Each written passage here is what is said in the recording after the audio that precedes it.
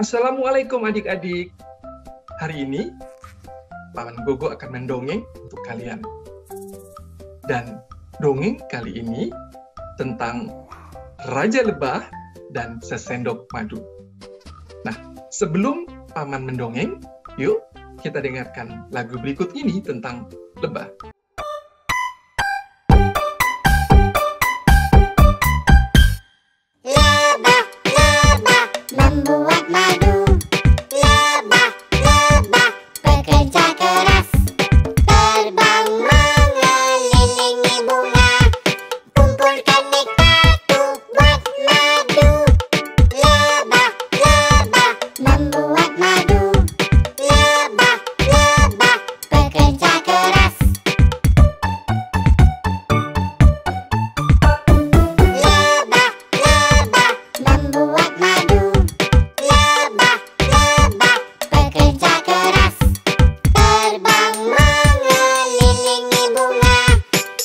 Volcanic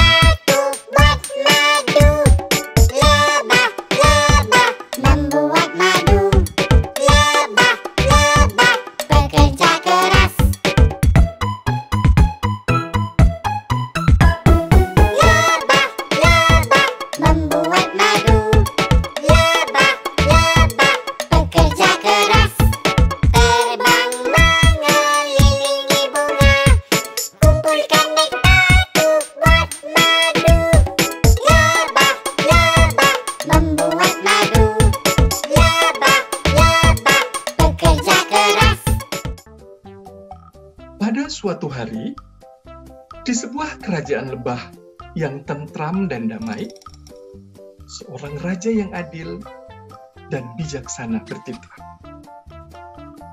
Raja lebah ingin menyelenggarakan pesta besar buat rakyatnya.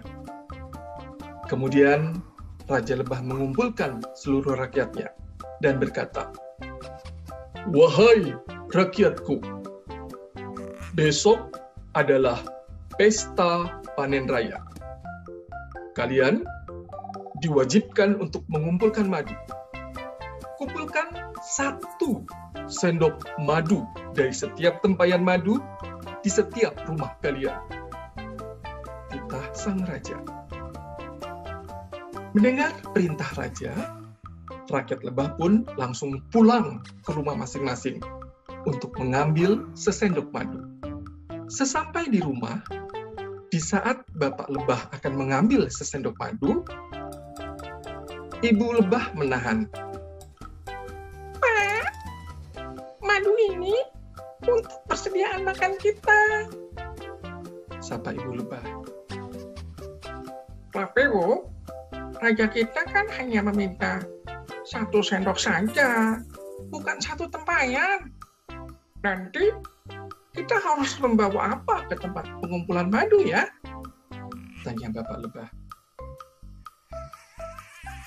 Bagaimana kalau madu itu kita ganti dengan sesendok air? Pasti tidak ada yang tahu. Usul ibu lebah. Akhirnya, bapak lebah mengikuti usulan ibu lebah.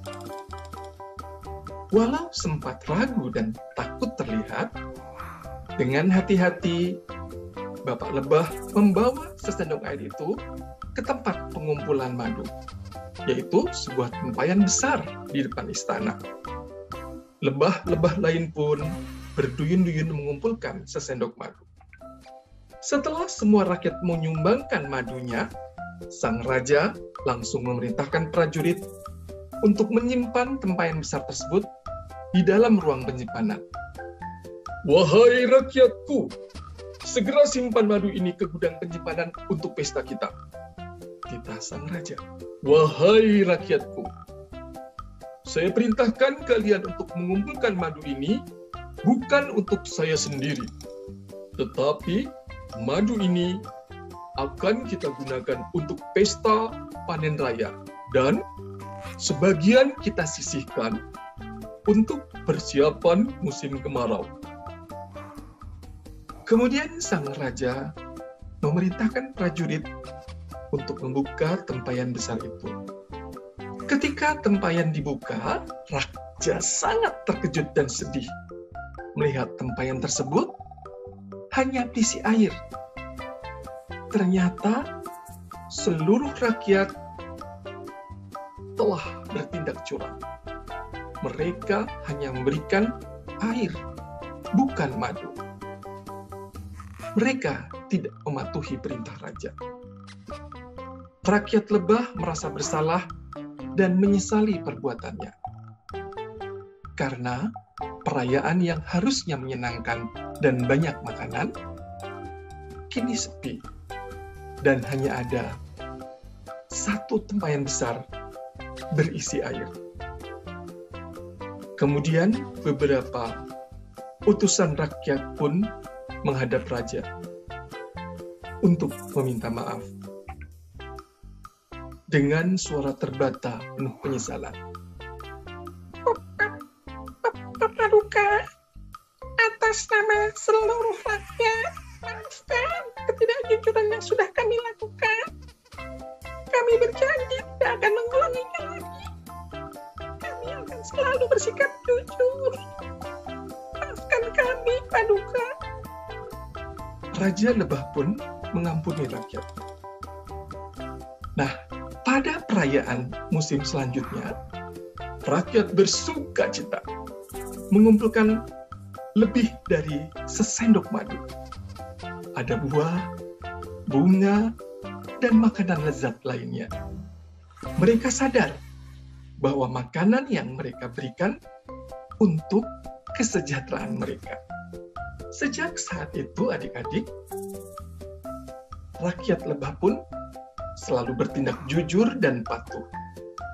Karena ketidakjujuran dan ketidakpatuhan yang sudah mereka lakukan mengakibatkan gagalnya pesta panen raya yang sebelumnya sudah direncanakan oleh sang raja. Sampai jumpa pada cerita berikutnya.